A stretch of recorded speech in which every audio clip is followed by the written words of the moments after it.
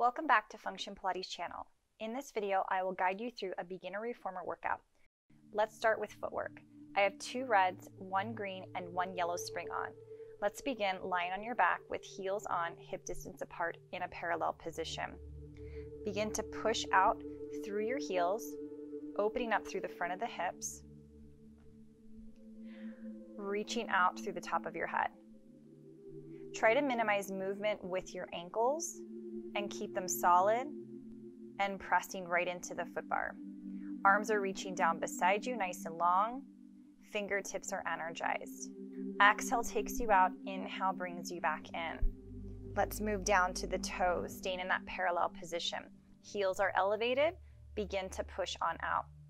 Focus on equal weight distribution throughout all of your toes and challenging your heels to stay in an upright position. Exhale out, inhale pulls you back in. We're working on strengthening your ankles, your knees, and your hips.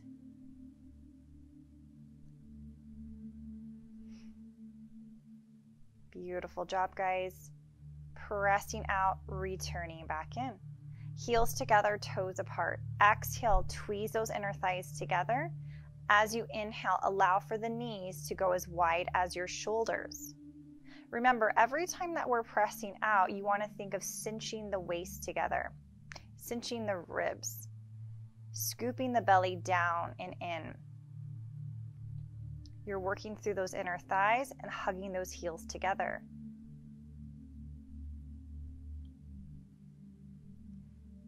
Good. Let's bring those heels up to the top of the bar, go wide, a slight turned out position here, and then pushing through those heels nice and long. Again, think of this energy reaching out from the top of your head and out through the bottom of the feet. Pushing out to two straight legs as if you are pushing your knees down towards the floor.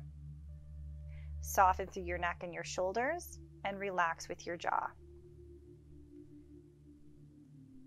Exhale out, inhale, pull you back in. Beautiful. Let's take the same wide position to your toes. Heels are lifted. Exhale, press out. Inhale, fight the resistance as you return the carriage in. Now, if these springs seem too heavy for you, go ahead and remove a yellow spring. Equal weight distribution into the feet, pressing out and returning.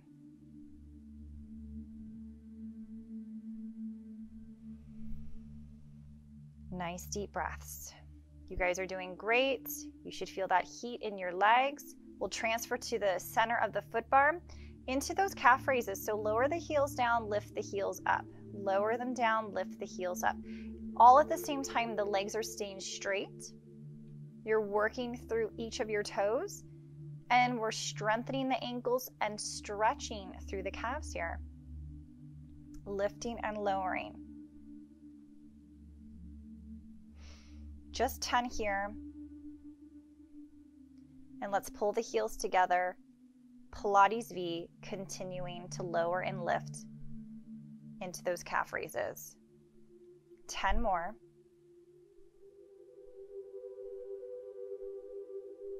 Again, going at your own comfortable pace. And then once you hit your 10th one, you're going to come into parallel again and we're going to walk it into prancing, dropping one heel and coming to two straight legs in the center, dropping the opposite heel and returning to two straight legs in the center. Again, a very comfortable pace here. Not rushing through it. Going slower if you prefer.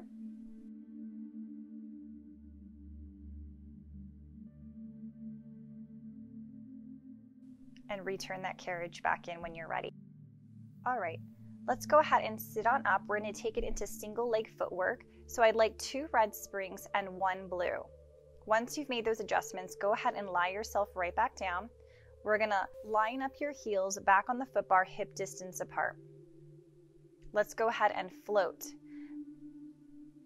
into tabletop that left side. Point through the left toes, keep the right foot flexed pushing out for 10, presses on that right side. Trying to keep the left knee directly over the hip. Exhale to push out. Inhale to pull back in.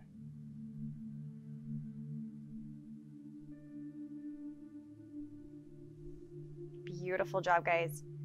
Again, opening up through the front of the hip, controlling the resistance on the return. Let's switch it to the opposite side. So left heel is on, right leg in tabletop. Pressing out, returning back in. Push out and return. Again, single leg strengthening here. You want to, again, try to maintain equal balance on both of your hips. So you don't want to feel like you are pushing into one side of the mat more than the other. Try to avoid coming in to crash into the stopper. Again, it's all about control. Your abdominal muscles are helping with this speed. Good. And let's return right back in again. Switching right toes are on, left leg is going to go ahead and extend over the foot bar. On your push out, pull the left knee in towards the chest to a tabletop position. You're challenging your right heel to stay lifted and elevated, so avoid letting it drop too far under the foot bar. When you pull your left knee in towards your chest, let that knee just stop directly over the hip. Continue to engage through your abs and relax through your neck and shoulders. You want to focus on those arms staying nice and long. Beautiful. Press and return. And switching to the opposite side, left toes are on, right leg is extended. Exhale. Inhale to reach. Exhale. Inhale to reach. Keep checking in with your body here to take inventory. Soften through your facial muscles and relax again with your jaw. Our goal is to maintain neutral pelvis and a neutral spine. So, all of the natural curves of your spine here. Breathe. Let's go ahead and come back up. We're going to take it into some abs and upper body, and we're switching down to a red and a yellow spring. Once you're done, go ahead and lie yourself back down. Make sure you're not super close to the shoulder blocks, and then pick up those handles and reach for the sky. One leg at a time is going to come to tabletop. Hug those knees together as a unit and start to press down through those arms. So the fingertips are super energized. The arms are energized.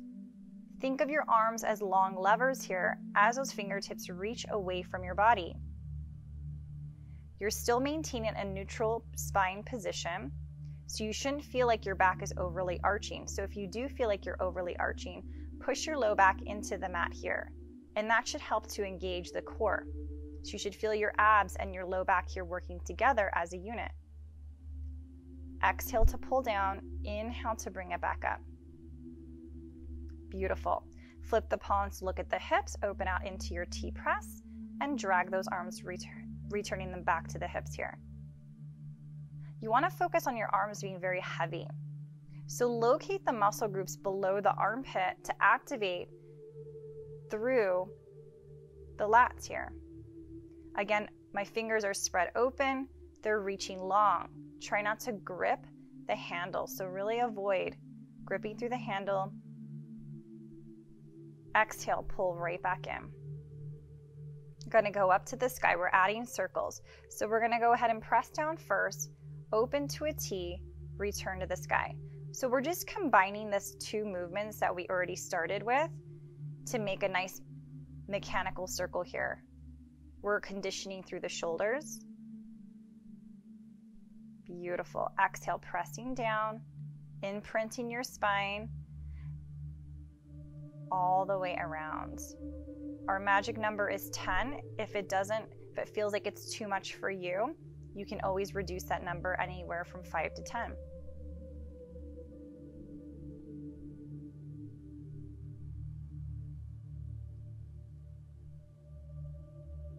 Good. And circle it around, reaching those fingertips up. Let's reverse. Pull it in, return up. arms out to a T, into the hips, float the arms up. So notice here that we have complete stabilization through the lower body, through those hips. The legs are not moving.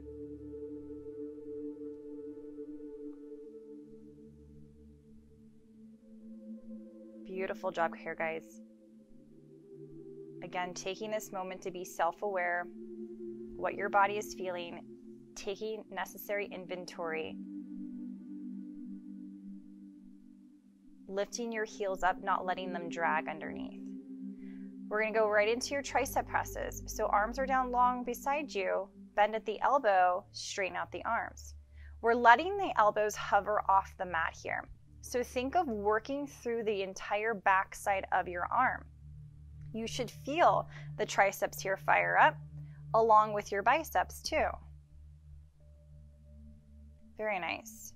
Again, 10 of those. Find your magic number. Keeping your palm open. Good. Once you're done, go ahead and set those feet down, arms out to a T. You can go ahead and go into a low back stretch as you move your knees from side to side. You can look to the opposite direction for a deeper rotation through the back. Again, focus on your breath. Close your eyes if that feels good for you. And then we're going to go ahead and add flexion here. So legs back to tabletop, arms to the sky. We're going to curl the head and chest up and then lower everything down together. So super slow and super slow all the way back to the return.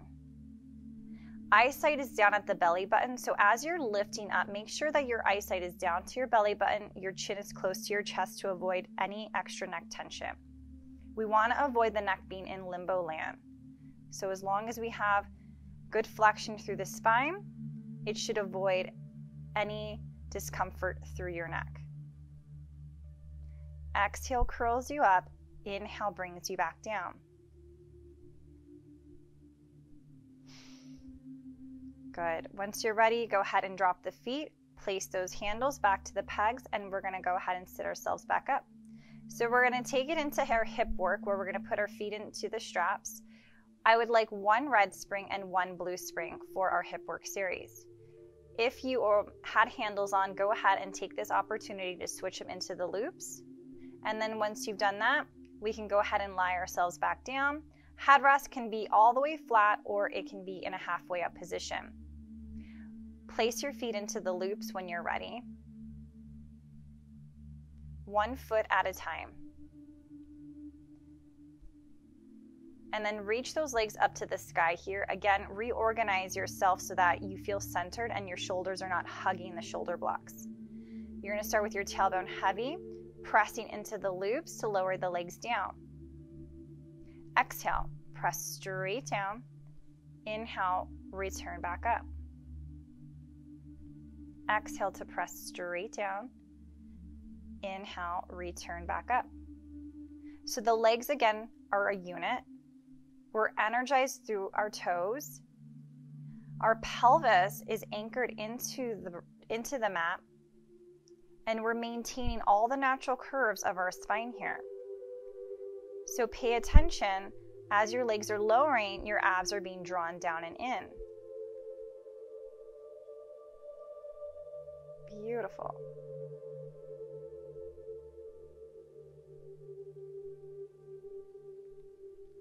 And just enjoying the stretch here through the back of those legs.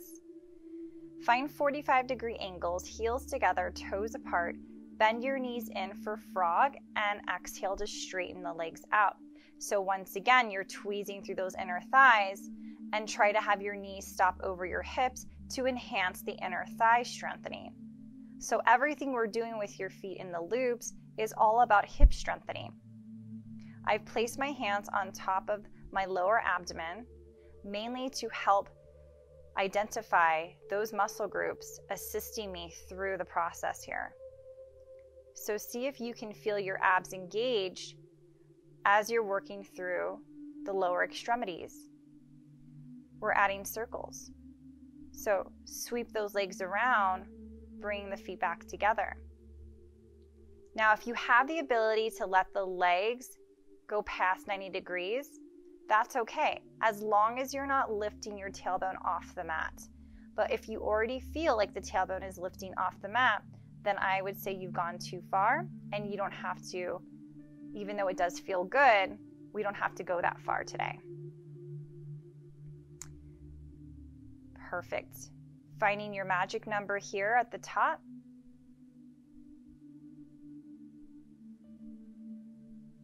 And then once you're ready, we can go ahead and reverse the direction here. So exhaling, pressing down, inhale to circle around. And your circles all is going to be determined again by the ability to maintain a neutral pelvis here. So if you're going out wide, but you feel your hips are moving frequently, I would recommend going into a smaller circle. You have more control over the smaller circle, and you're staying within your frame.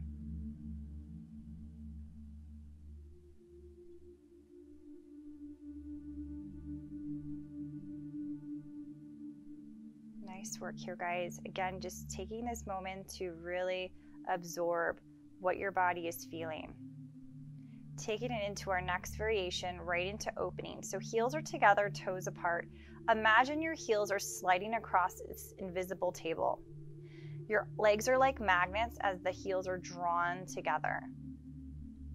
You're creating again this heaviness between your inner thighs as you drag the heels together. Inhale to open, exhale to pull. Inhale, we open exhale to pull. And then bring it in for your Buddha stretch, your butterfly stretch. Soles of your feet together, knees are apart. You can dip your feet into the well if that feels good for you. And just taking this opportunity to breathe.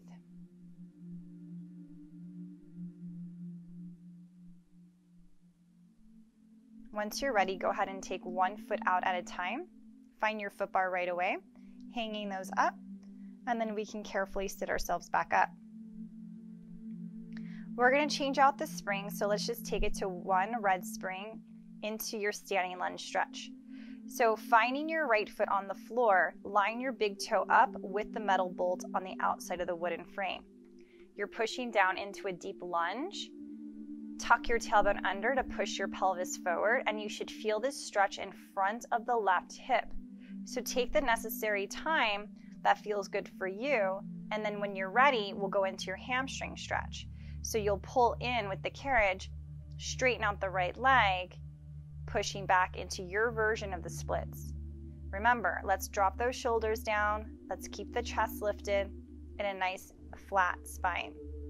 Repeat that when you're ready. So back into your lunge, bend deep into the right knee, pushing back with your left leg. Breathe as you sink a little deeper. And then finish it with your hamstring stretch. Straighten the right leg and press on out. Keeping your neck in line with the rest of your body. Very good. All right, so let's carefully take you around, walk yourself around the machine. And left foot's on the floor, right foot is supported by the shoulder block, palms on the foot bar. Push out into your deep lunge. Again, left knee is directly over the left ankle, and you're pushing long through the right leg. Tailbone's tucked under, chest is lifted, hips are forward. When you're ready, come into your hamstring stretch. Straighten your left leg, push yourself back, maintaining a nice neutral position through the spine. Breathe. One more time into the lunge.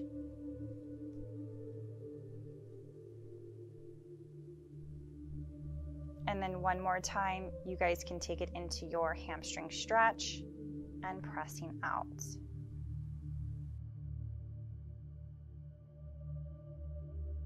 All right, let's stay on the same spring tension. Let's grab a hold of your box and we're gonna take it into a long position long box position.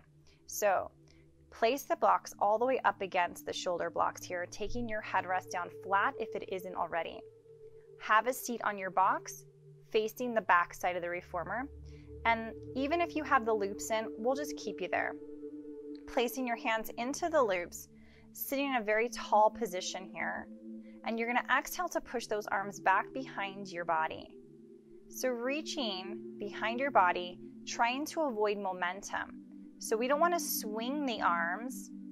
Again, we want to identify the muscles there right below the armpit, right in behind the back of the arms and into the center of the back. Exhales taking those arms back with an inhale to guide the arms forward. Your upper body is going to stay put, so try to avoid swaying back or forth. Second variation turn the palms so they're looking at your hips and pull straight back. This should isolate a deeper feeling into your triceps. So, right in the back of your arms is exactly where you should feel this now. Encourage your chest to lift up and make sure that you're sitting up super tall. We want to avoid rounding the spine here. Very nice.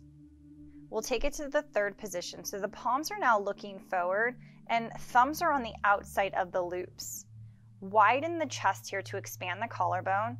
And then, same idea, press those arms behind your hips in order to feel the back of the arms working and the muscles in the center of the back. Exhale takes you there. Inhale forward.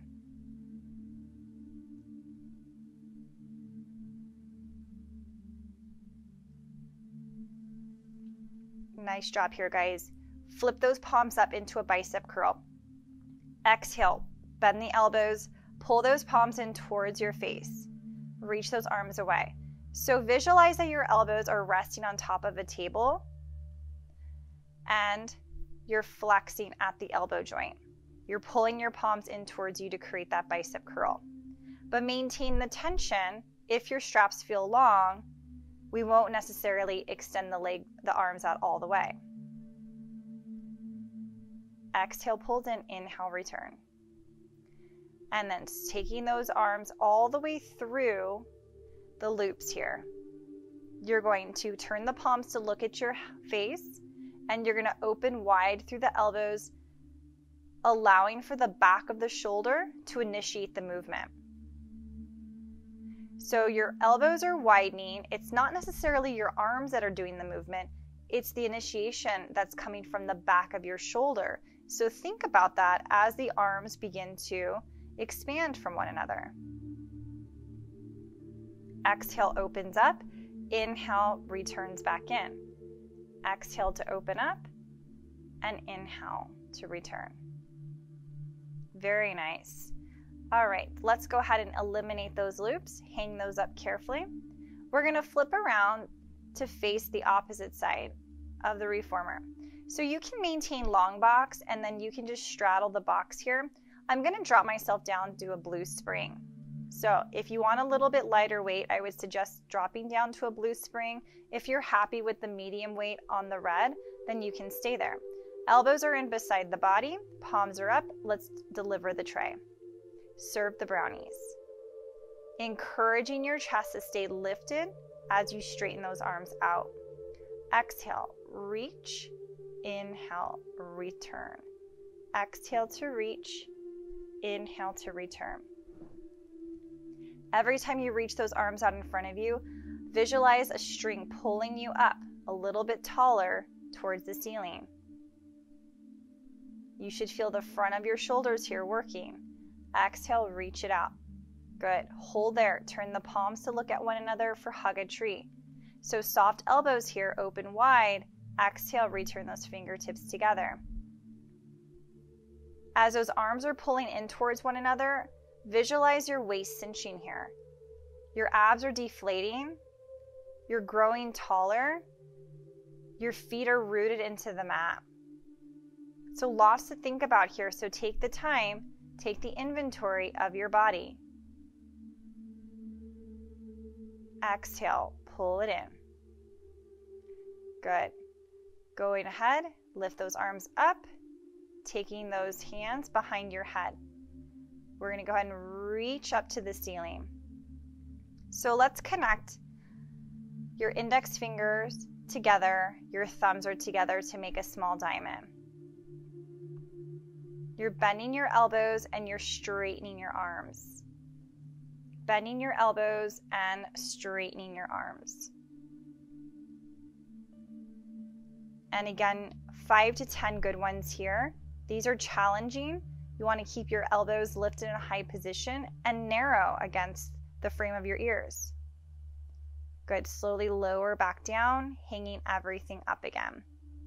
And then carefully exiting off your box. Okay, let's go ahead and take it to one red spring only. We're lying on our stomach for back extension. So begin to set your palms up on the foot bar nice and wide and separate those legs here for some good distance apart. On your inhale, lift your chest up, and on your exhale, lower your chest down. You're pushing out to two straight arms. Lift the chest, drop the shoulders. Good. Exhale, drop the chest, bend your elbows. Think of pushing out with your back extensors, not necessarily your arms. So, what does that mean? Try to keep those shoulders down and away from your ears. We're creating space between the shoulders and the ear and allowing for the whole backside of the body here to be working. Beautiful work there, guys. And it should feel relatively good as we stretch out through the low back, drawing some heat into the back of those legs. Almost done.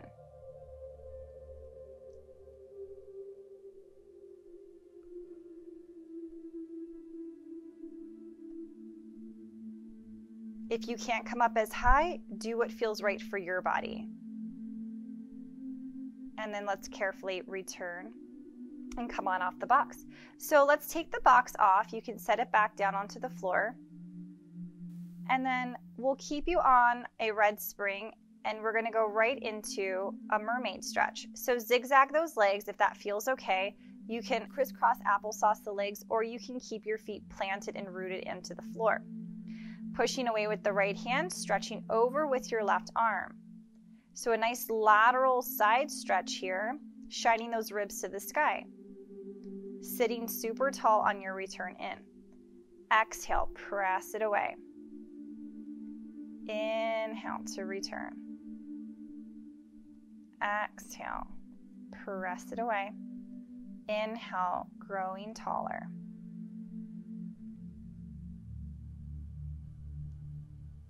When you're ready, make a rotation there if that feels good for you today. Open wide through the palms and just stretch yourself out, adding extension as an optional variation. If you're adding extension, lift your chest up, drop your shoulders, slightly drag your body back in again. Anywhere from three to five.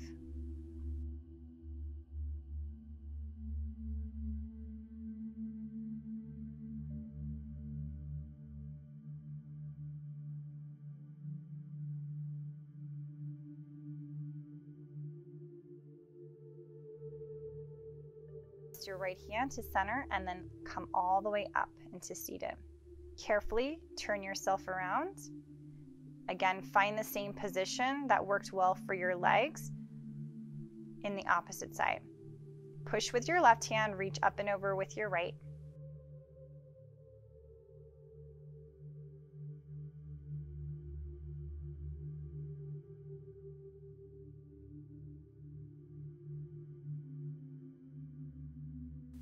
Get this nice sense of stretch along the entire right side here. Again, reaching those fingertips to provide energy running out through the arm. And these should feel great. Once you're ready, you're going to reach over, open the distance between your arms, push yourself out, lifting the chest when you're ready, and pushing yourself away. Again, these are optional extensions. You don't have to take them. If you prefer just the lateral side bends, then that's perfectly fine. Again, encouraging your chest to lift up a little higher on your return in. adjust your left hand through center, and come all the way back up to the top here. Beautiful job, guys. Hope you've enjoyed the workout, and we'll see you next time.